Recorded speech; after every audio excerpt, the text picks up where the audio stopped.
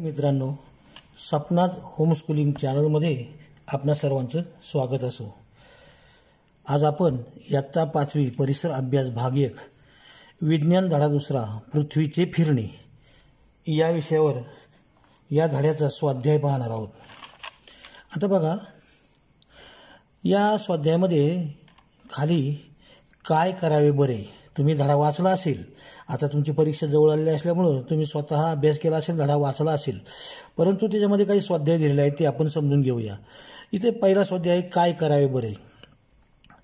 अमितला त्याच्या आजीला घेऊन ऑस्ट्रेलियाला जायचे आहे. पहा बरं. अमितला त्याच्या आजीला घेऊन ऑस्ट्रेलियाला जायचं आहे. आता अमित हा भारतात राहणारा मुलगा. त्याच्या आजीला घेऊन त्याला कुठं जायचं आहे ऑस्ट्रेलियाला. अमितच्या आजीला थंडीचा त्रास होतो. आता आजीचं वय झाल्यामुळं अमितच्या आजीला थंडीचा त्रास होतो. त्यांनी ऑस्ट्रेलियाला कोणत्या कालावधीत जावं? असं प्रश्न आहे. आता काय करायचं बरं? याचं उत्तर काय आहे बघा. अमितच्या आजीला थंडीचा त्रास होतो. तेव्हा अमितने आजीला ऑस्ट्रेलियात जेव्हा उन्हाळा असेल म्हणजे ऑस्ट्रेलियामध्ये जेव्हा उन्हाळा असेल तेव्हा न्यावे. ऑस्ट्रेलिया हा देश दक्षिण गोलार्धात आहे. त्यामुळे आपण आपणाकडे जेव्हा हिवाळा असतो तेव्हा ऑस्ट्रेलियात उन्हाळा असतो. आता अमित भारतीय आहे. म्हणून त्याने आपल्याकडील हिवाळा सुरू होताच आजीला ऑस्ट्रेलियात न्यावं. म्हणजे आपल्याकडे ज्यावेळेला हिवाळा सुरू होतो त्यावेळेला ऑस्ट्रेलियात उन्हाळा सुरू होतो. हे उलट असतं नेहमी. म्हणजे तिकडच्या उन्हाळा तिकडचा उन्हाळा असल्यामुळे आजीला त्रास होणार नाही असा हा आपल्याला उत्तर देता येईल. आता दुसरा प्रश्न आहे. प्रश्न दुसरा जरा डोके चालवा. आता डोकं चालवा. प्रत्येकाला डोकं असतं. ते चालवायचं म्हणजे विचार करायचा. आता काय बघा. पृथ्वीच्या एका परिभ्रमणात बघा बरं का. पृथ्वीच्या एका परिभ्रमणात तिची किती परिवलने होतात? आता हे हा प्रश्न समजून घेण्याआधी परिभ्रमण आणि परिवलन या दोन शब्दांचा अर्थ तुम्हाला माहिती पाहिजे. पृथ्वी स्वतःभोवती फिरते त्या तिच्या फिरण्याला परिवलन असं म्हणतात. तर पृथ्वी सूर्याभोवती फिरते या तिच्या फिरण्याला परिभ्रमण असं म्हणतात. कळलं? आता मग आता असं जर असेल तर एक परिवलन ज्या वेळेला होतं म्हणजे पृथ्वी स्वतःभोवती एक फेरी ज्या वेळेला पूर्ण करते त्या तिच्या काळा काळाला एक दिवस म्हणतात.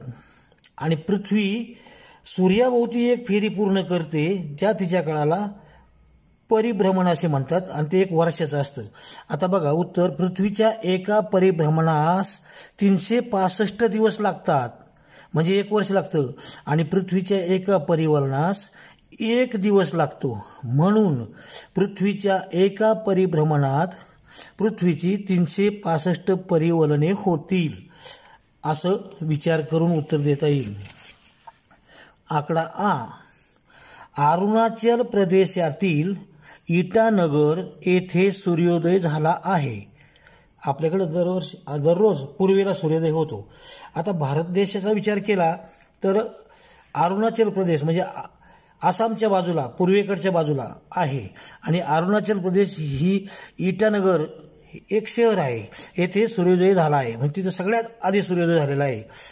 पुढील शहरामध्ये होणाऱ्या सूर्योदयाचा क्रम ठरवा. आता जर इटानगरला पहिला सूर्योदय झाला असेल तर खाली शहरांची नावं दिली आहेत. मुंबई महाराष्ट्रामधलं कोलकाता पश्चिम बंगालमधलं भोपाळ मध्य प्रदेशामधलं व नागपूर महाराष्ट्रामधलं.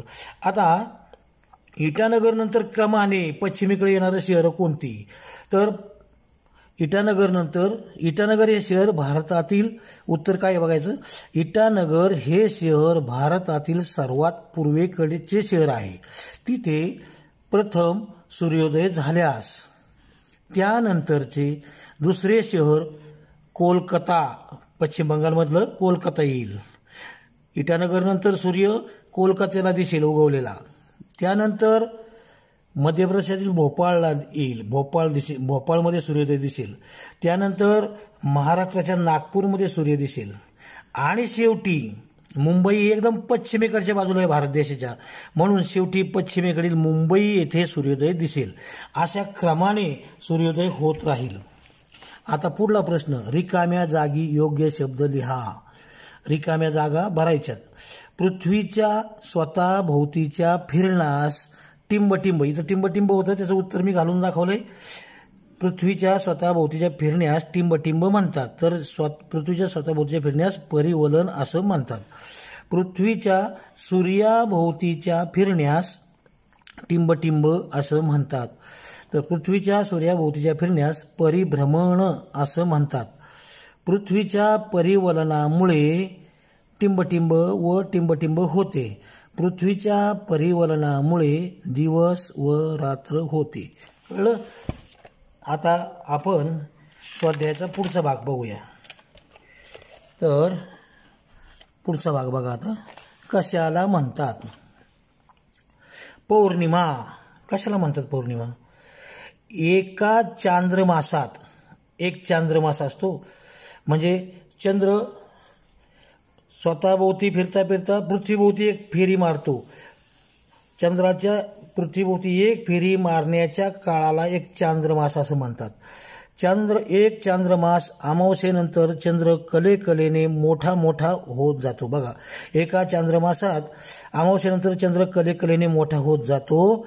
त्याचा प्रकाशित भाग वाढत जाऊन चौदा किंवा पंधरा दिवसांनी तो पूर्ण गोल दिसतो. त्या तिथीला पौर्णिमा म्हणतात. कळलं? तर एक एका चंद्रमासात अमावस्येनंतर चंद्र कलेकलेने मोठा मोठा होत जातो. त्याच्या प्रकाशित भाग वाढत जाऊन चौदा किंवा पंधरा दिवसांनी तो पूर्ण गोल दिसतो. त्या तिथीला पौर्णिमा असं म्हणतात. मग आता अमावस्या म्हणजे काय? पौर्णिमा कळली. अमावस्या. अमावस्या. पौर्णिमेनंतरच्या पौर्णिमेनंतर चंद्राचा प्रकाशित भाग पुन्हा कमी कमी दिसू लागतो. आणि चौदा किंवा पंधरा दिवसांनी चंद्र अजिबातच दिसत नाही. त्या तिथीला अमावस्या असं म्हणतात. म्हणजे पौर्णिमा झा संपली की परत चंद्र थोडा थोडा थोडा थोडा थोडा बारीक बारीक बारीक बारीक बारीक बारीक बारीक होत जाऊन चौदा किंवा पंधरा दिवसांनी तो असा दिवस येतो की त्या दिवशी चंद्रच दिसत नाही आकाशामध्ये. त्या तिथीला अमावस्या असं म्हणतात. ई आकडा चांद्रमास म्हणजे काय? एका अमावस्येपासून चौदा किंवा पंधरा दिवसांनी पौर्णिमा येते व पुन्हा चौदा किंवा पंधरा दिवसांनी अमावस्या येते. या कालावधीस म्हणजे एका अमावस्येपासून दुसऱ्या अमावस्येपर्यंतच्या काळास चांद्रमास म्हणतात. कळलं? आता पुढचा भाग.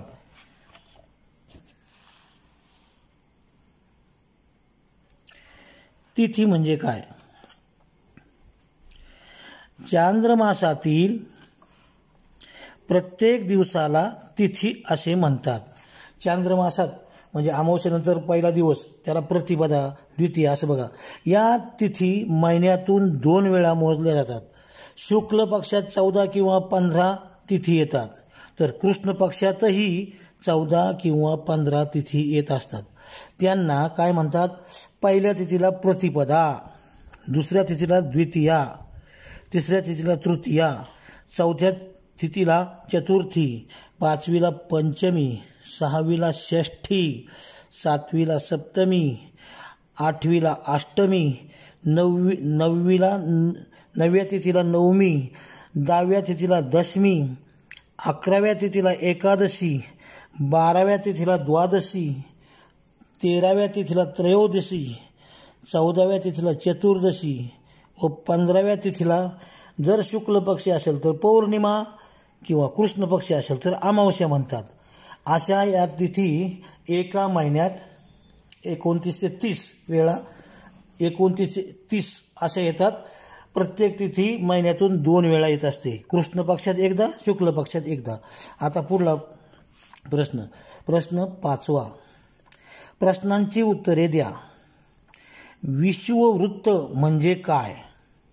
विश्ववृत्त म्हणजे काय? याचं उत्तर बघा. पृथ्वीचा उत्तर आणि दक्षिण ध्रुवांच्या मध्यावर. पृथ्वी जी गोल असते. या गोल पृथ्वीच्या दक्षिण आणि उत उत्तर आणि दक्षिण ध्रुवांच्या मध्यावर पृथ्वीच्या पृष्ठभागावर. काल्पनिक एक वर्तुळ काढल्यास पृथ्वीचे दोन समान भाग होतात. पृथ्वीचे उत्तर आणि दक्षिण ध्रुव काल्पनिक वर्तुळ काढल्यास दोन समान भाग होतात. तेव्हा पृथ्वीच्या या काल्पनिक वर्तुळास विषुववृत्त म्हणतात. कळलं? आता समजून घ्या. हा पृथ्वीचा गोल आहे. हा पृथ्वीचा गोल आहे. त्याच्यामध्ये बरोबर इत मध्यभागावर असं वर्तुळ काढलं तर एक हा खालचा भाग आणि हा वरचा भाग. असे दोन भाग पडतात. त्याला त्या वर्तुळाला विषवृत्त असं म्हणतात. विषवृत्तामुळे निर्माण होणारे पृथ्वीचे दोन भाग कोणते? आता विषवृत्तामुळं दोन भाग. हे जे दोन भाग निर्माण झाले हा खालचा भाग आणि हा वरचा भाग. विषवृत्तामुळे निर्माण होणारे पृथ्वीचे दोन भाग कोणते? विषवृत्तामुळे पृथ्वीचे दोन भाग समान होतात. त्यांना उत्तरेकडील भागास उत्तर गोलार्ध आणि दक्षिणेकडील भागास दक्षिण गोलार्ध असं म्हणतात. कळलं? आता असा हा पाठ या पाठाचा पुस्त पाठ्यपुस्तकाच्या धड्याखालचे स्वाध्याय संपले पण यावर आधारित आणखी महत्त्वाचे प्रश्न परीक्षेला येऊ शकतात बुवा त्यांची आपण माहिती थोडक्यात घेऊ. परिवलन म्हणजे काय? पृथ्वीचं परिवलन म्हणजे काय? वस्तूच्या किंवा नुसतं परिवलन म्हणजे काय? इथं पृथ्वी हा शब्द नाही आहे फक्त परिवलन म्हणजे काय? परिवलन म्हणजे स्वतःभोवती फिरणे. वस्तूच्या स्वतःभोवतीच्या फिरण्याला परिवलन म्हणतात. तर ती वस्तू ज्या अदृश्य रेषेभोवती फिरते त्या रेषेला वस्तूच्या परिवलनाचा अक्ष किंवा आस म्हणतात. उदाहरणार्थ आपण भोवरा दोरी बांधून फिरवला गर गर गर गर गर गर. तर भोवऱ्या आरी त्याचं त्याला असणाऱ्या आरीभोवती तो गरगर गरगर गरगर फिरतो त्या फिरण्याला परिवलन म्हणतात. तर परिभ्रमण काय बघा आता? पृथ्वीचे परिवलन आणि परिभ्रमण म्हणजे काय? फरक सांगा. आता परिवलन पृथ्वी स्वतःभोवती चोवीस तासात एक फेरी पूर्ण करते.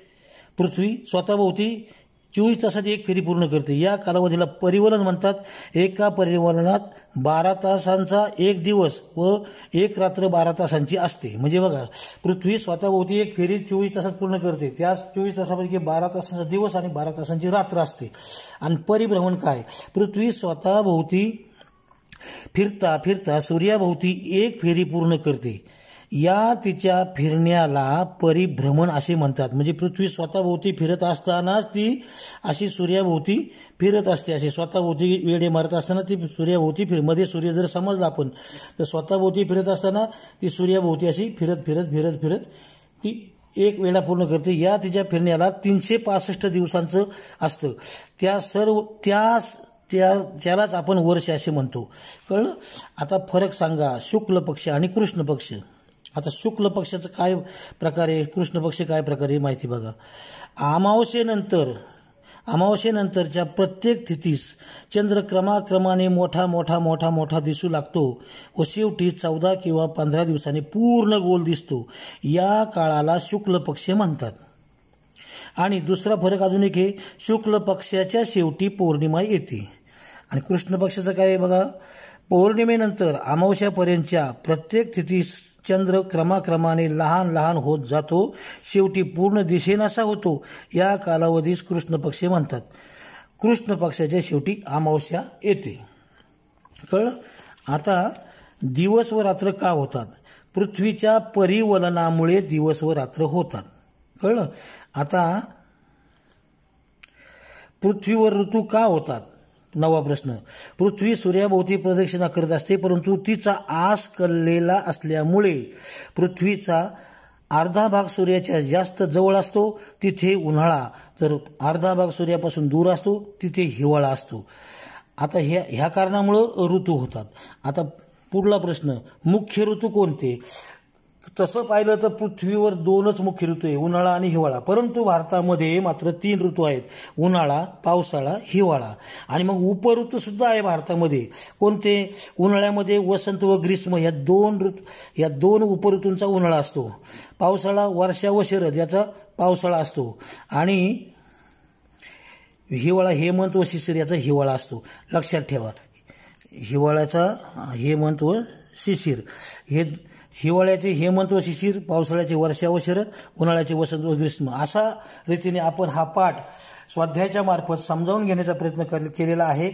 विद्यार्थी मित्रांनो आपणास हा पाठ आवडला असेल तर सपनाच होम कुलिंग चॅनलमधून आपण आपण या आपणास मी नम्र विनंती करतो की आपण नवीन असाल तर या चॅनलला सबस्क्राईब करा बेल आयकॉन बटन दाबा आणि लाईक करायला विसरू नका. आणि पुढच्या पाठात आपण उद्या भेटूया. धन्यवाद.